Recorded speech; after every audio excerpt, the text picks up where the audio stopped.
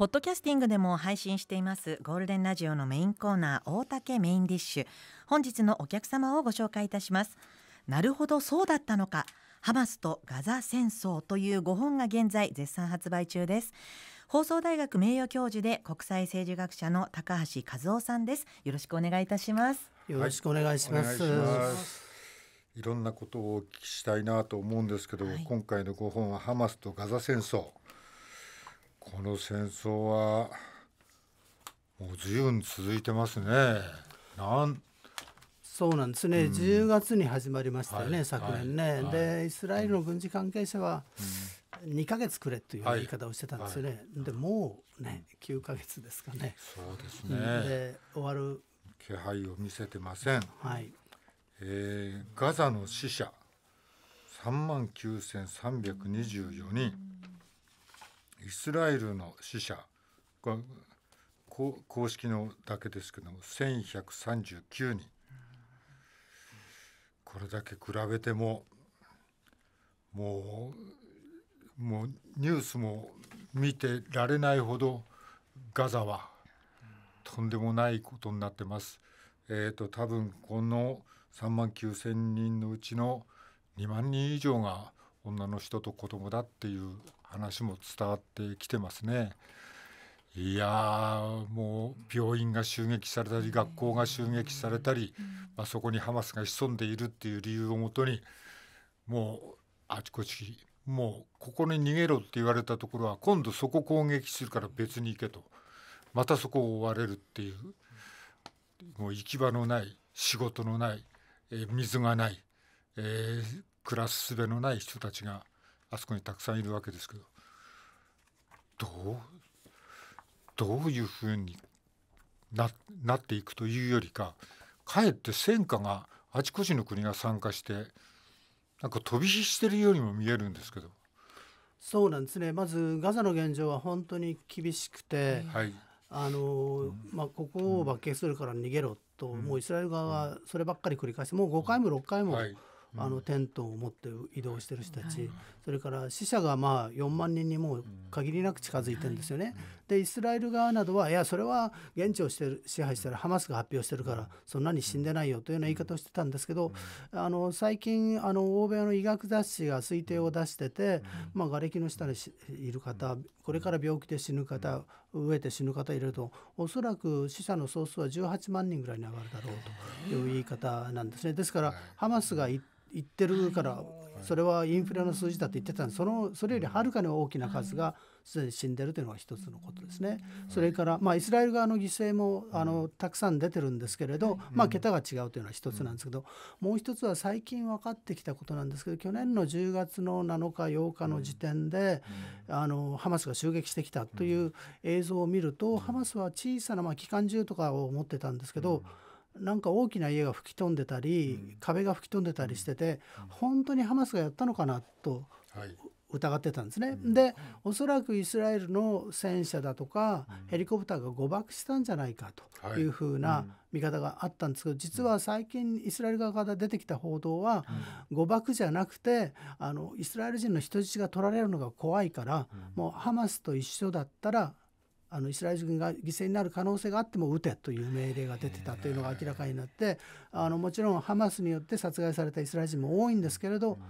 イスラエル側の放火によって巻き添えというか狙われてあの犠牲になったイスラエル人も多いという。だからまあ亡くなったイスラエルの方にとってはもう二重にあの厳しい現実が出てきているという状況があります。それからガザの状況が終わりが見えない中で、まあ一つはイエメンの風水派という勢力とイスラエルの、あの戦いがあるということですね。一つはまあ風水派がずっとイスラエルに向けて何百発もこれまでミサイルを撃ってきてたんですけど、まあ、実質一発も当たってなかったんですね。ところが先日ついにイスラエルの防衛網を突破してテルアビブと一番大きな都市に、えー、一つ着弾してイスラエル側の死者が出たんですね。それでもイスラエル側は反撃せざるを得ないということで、あのイスラエルからイエメンまで往復3000キロもあるんですけど、はい、F15 に重い爆弾を積んで、はい、イエメンを爆撃して帰ってきたんですね。ただその F15 の航続距離から行くと行って帰っては来れないんですよ。だからどこかで給油したんですよね。で誰が給油したのかイスラエルがやったのか、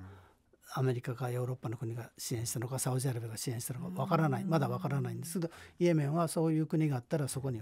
報復しますよというんでなんかまああのとても不思議な展開があってただまあ風水派とイスラエルの対決はずっと続いてる。で、えー、もう一つの戦線が開かれようとしててそれがまあイスラエルの北にあるレバノンですね。レバノンには、あのヒズボラーというシーア派の組織があるんですけど、はい。うん、そのヒズボラーとレバノンの間も、まあ、あの全面衝突ではない低レベルの戦いがずっと続いてたんですけれど先日、うん、イスラエルが支配する地域にミサイルが落ちて十何人かそこにいた人が死ぬという事件があったんですね。はい、でイスラエルはもう報復せざるを得ないと言ってるんですね。ただヘズボラ側は俺たちはやってないよと言ってそこが不思議なんですけど現地からの報告はおそらくヒズボラが撃ってくるミサイルを迎撃するためのミサイルが誤って落ちたんではないかという議論も相当アラビア語のメディアでは強いんですね。だからあの何が起こったか実際はまだはっきりしてないんですけどイスラエルはレバノンに報復せざるを得ないという姿勢を見せてて今アメリカが必死になってまあまあと言ってるというそういう状況ですかね。でも誰がどう見てもあの、まあ、国際司法裁判所もそうですけどももうこれはある一線を越えてますよね。それでこれはもう違法だという判断も下してますよね。こんな全然何の役にも立たないんですかそうですね。あのイスラエルの心ある人たちはやっぱり国際的評価というのはすごく気にしてますから、うん、ですから国際司法裁判所でも自分たちの立場を強く主張しますよね、うん、ですからこれはあのある層の人たちにとってはショックですよね、うん、でももう戦争を続けようと思ってる人たちはどうせ世界は俺たちユダヤ人を恨んでんだからというようなこうメンタリティーに、まあ、自分たちを追い込んでしまって、国民もだから戦うしかないんだよって追い込んでしまって戦おうとしてるんですね。ただまあイスラエルが戦うったってイスラエルに爆弾を渡して飛行機を渡して支えてるのはアメリカですからね。はい、まあ基本的にはアメリカがどう言うかですよね。でこれだけ国際的な評判が悪い、うん、で、ね、ウクライナでロシアがやってることをこれだけ非難してなぜイスラエルがガザでやってることを非難しないんだと、ダブルスタンダードと叩かれてやっぱりアメリカも辛いところもあるというところでで一つはまああのとことんイスラエルをもう支持するんだって言ったバイデンさんが、ある意味大統領選挙に出ないって言って、はい、実質カマラ・ハリスさんという副大統領に実権が移りつつある、でカマラ・ハリスはやはりアメリカのイスラム教徒の票アラブ人の票、若い人の票黒人の票を取りたいんですね、ですからあのバイデンさんとは距離を置こうとしてる、うん、それがまあ例えばネタニヤフさんが先日アメリカ議会で演説しましたけど、はい、いや私はもうあの選挙キャンペーンの戦略があるから行きませんという、うん、で欠席したんですね。はい、でアメリカの副大統領というのはあの形式的にはアメリカの上院の議長なんですよ。うん、で議長が欠席するというのはね、ちょっとありえないこれまではね。だから明らかにネタニヤフに距離を置きたいというメッセージですよね。それからまあネタニヤフさんとあの会談しましたその後。でその後会談はしたんですけれど私はイスラエルが自衛権を自分を守る権利を認めると。イスラエルはずっと認めるんだそれは認めるんだけどでもガザで起こってることはあんまりひどいでしょうと。人道問題もしっかりねこれから取り組みたいということを言うと。面と向かって言うというのがあってそれはこれまでなかったことで、バイデンさんとは明らかに距離を置いたと感じで、イスラエル側は不快感を示してますよね。で、なぜかというともうイスラム教徒の票が欲しいというのが大きいんですけど、特に、まあ、あのアメリカの大統領選挙で重要な激戦州ですね。スイングステートと呼ばれてる州、で民主党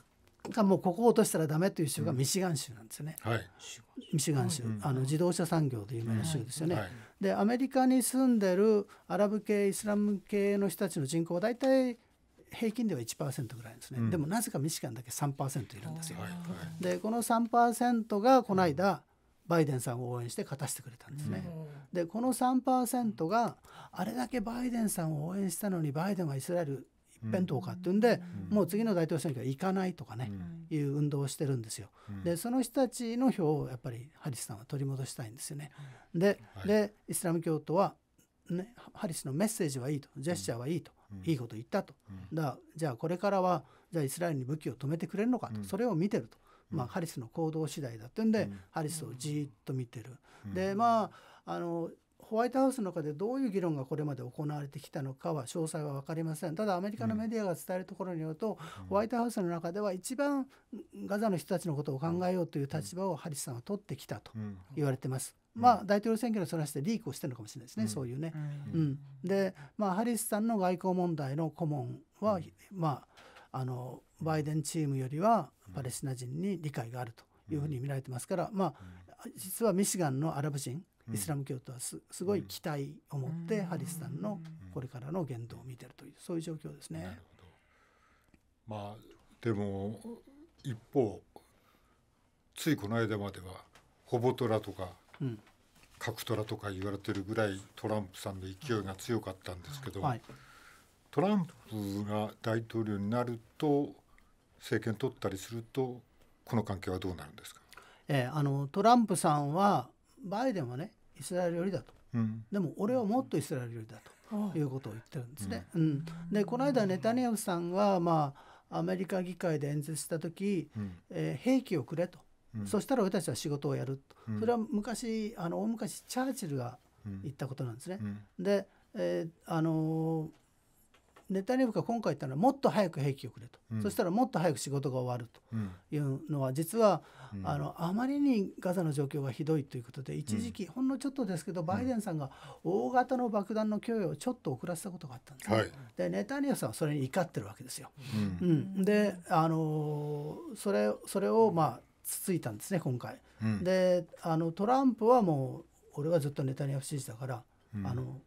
俺が大統領になったらどんどん爆弾を渡して早くハマスが片付くんだと、うん、まあこういう立場ですね、うん、ですからまあネタニヤフさんはジェットまだ世の中ねトランプさんが勝つのを待ってる人多いですけど、うん、ネタニヤフさんもその一人ですよね。うん。えー、そのトランプの銃撃事件とかあってあそこで一気にトランプの人気が上がりましたね。はい、その後そうでもないんじゃないかと。ハリスさんが意外とこう女性だし、うん、えー、有職でもあるわけで、えー、しかも、まあ、トランプの掲げてるのは中絶反対っていう、うん、あのキリスト教の福音派ですか、うん、その思想があ行き渡ってるわけですよね。でもそれはないだろうっていうのがハリスさんの意見ですね。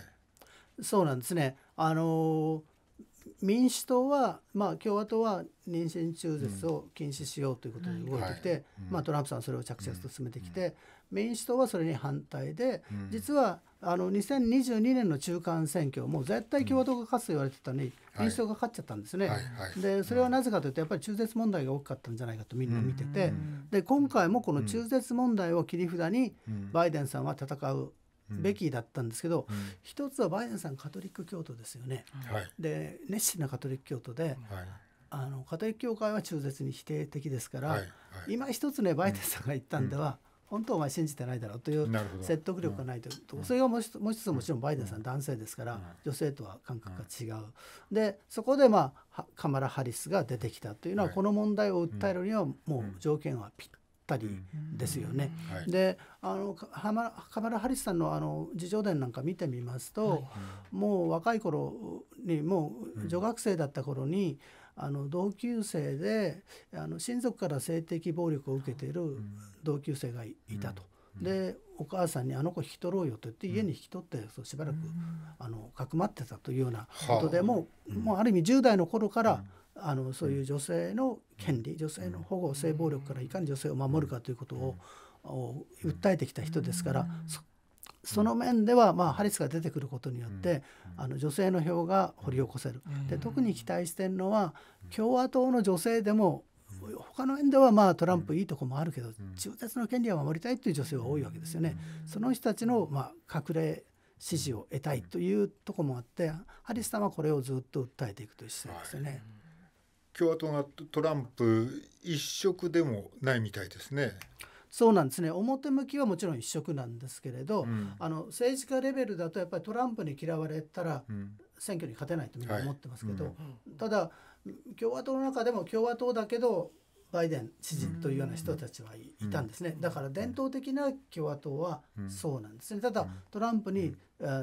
党のマシンは乗っ取られてしまったと。で草のレベルではトランプが掘り起こした票もあるんですけど、トランプにはついていけないという品のいい女性も多いんですよね。共和党に当たり前のことながらね。だからそのそうした票を掘り起こせばっていうのが、あの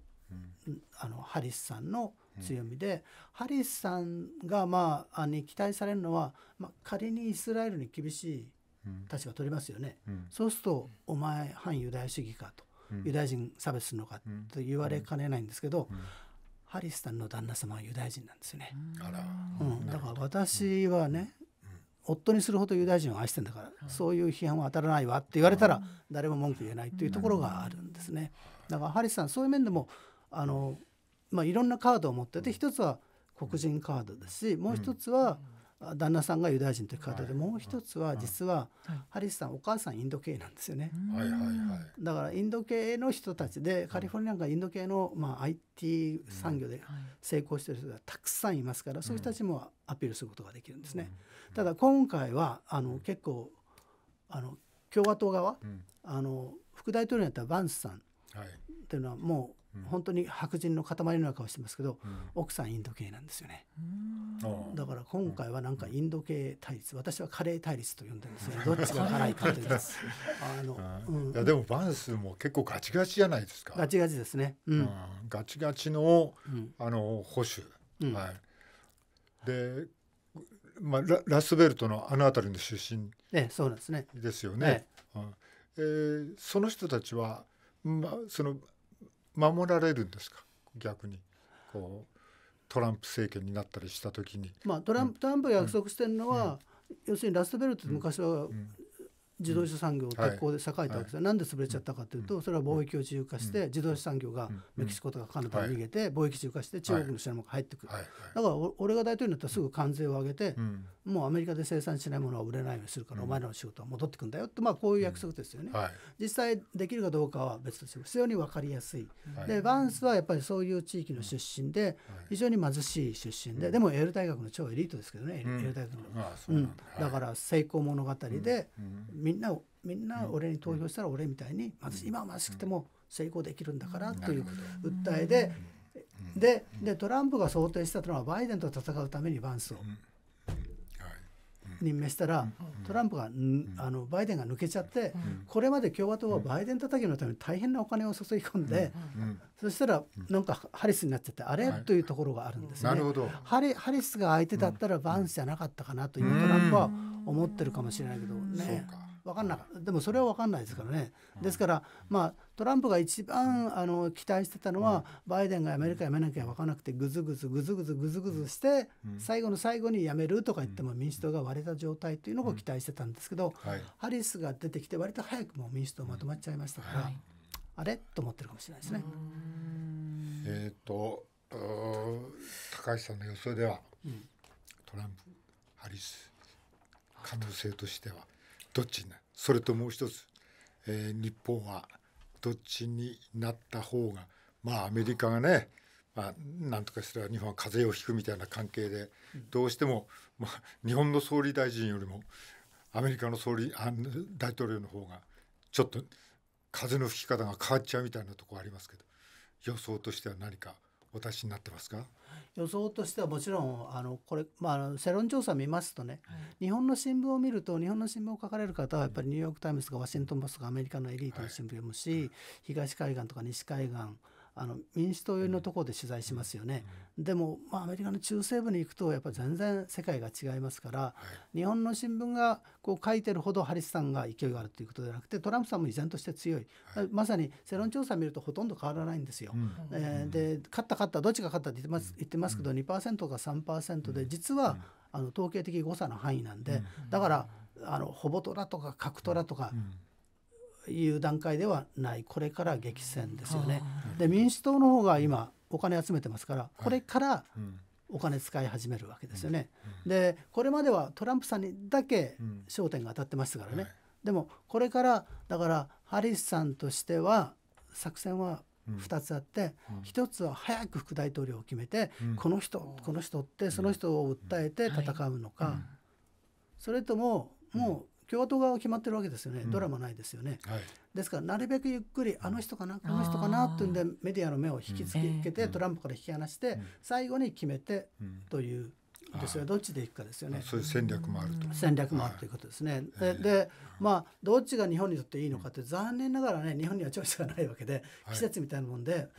アメリカが春になったら日本は夏がいいなと思ったら春だったらしょうがない。わけですよね、で実はトランプさんの時に日本は結構トランプさんに食い入るためにいろんなことやってたんですね。はいはい、で例えばトランプさんの副大統領のペンさんって人がいましたけど、はい、彼はあのインディアナ州の知事だったんですね。でインディアナ州というのは日本の投資をたくさん受け入れるところで、日本のビジネス界とすごくあのあのつながってたんですよ。うん、でですからペンさんも奥様も日本に何回も来たことあるし、はい、あのペン様の奥様はもうカラオケカラオケ大好きでね、うん、日本側はカラオケ接待をして食い込んでたりとかねい。ろいろやってたんですよね。ただカマラ・ハリスさんに日本がどれぐらい食い込んでるかっていうのはちょっと私は分からないですね。だからあの外交的に考えて誰が勝つか分かんないんだからみんなに食い込んでるべきですね。はい、う。ん、だからまあある意味安倍元総理が生きてればねもしトランプが勝ったとしたらトランプさんとは近いということ、でまあちょっとみっともなかったんですけどあのトランプさんが勢いがあるっていうんでね、あの麻生副総理が民主党が嫌がる中わざわざ会いに行ったりなんかして、まあ布石は打ってるんですけど、じゃあカマラ・ハリスとどういう関係があるのか、誰が付き合いがあるのかとかカマラ・ハリスの周辺は誰なのかと誰かそのねうん、アメリカの大学の同級生の日本の外交官いないかとかねそういうのを今一生懸命調べてると思うんですね。いやでもあれだね、まあ、そのハリスの作戦、まあ、副大統領誰にするか、まあ、56人候補が上がってるけど、そのうちの一人に女性の候補者もいるんですよね。そうなんですね、うん、あのフィットバー知事というミシガン州の知事なんですね、うん、でどうしてもミシガン取りたいでしょ、うん、ミシガンって激戦？激戦。州なんですよ、で、前回はバイデンさんが十何万票かで取ったんですよね、はい、でその前はトランプさんが1万票ぐらいで取ってるんですよ。だから本当にわずかなんですよ、えー、うん、だからあの知事をあの副大統領にしたら、えー取る可能取れる可能性高い。西側を取る。ただ女性女性で行くのがいいのかというのがありますよね、はいうん、そうすると男性はいないのかと男性もいるんでなかなかあの、人はいるんですよね。うん、で例えばアリゾナ州のあの上院議員は、元宇宙飛行士なんですね。だからトランプさんが強いイメージできて、はい、あのマッチョですもんね、ま、マッチョで負けないぞというのもあり得るんですね。はい、まあ、世界は混沌としてて、はい、戦争も終わらないし。はい、あじゃあお時間が来てしまいました、えー、改めて高橋和夫さんのご本を紹介します。なるほどそうだったのか。ハマスとガザ戦争。厳冬者より税込み1540円で発売中です。パレスチナ問題とはそもそも何がどう問題なのか。さらにアメリカとアラブ諸国の不可解な関係や第3次世界大戦の可能性などについて分かりやすく解説されています。興味のある方はぜひ書店でお求めください。はい本日のゲスト高橋和夫さんでした、ありがとうございました。失礼しました、ね。うん